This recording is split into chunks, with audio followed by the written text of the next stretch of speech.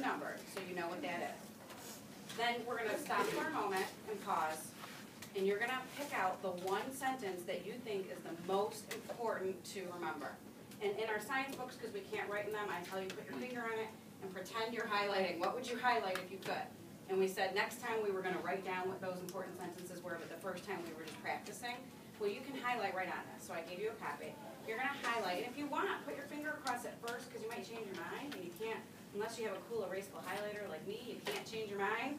So you might wanna put your finger on it first, and then think about it, and then highlight it.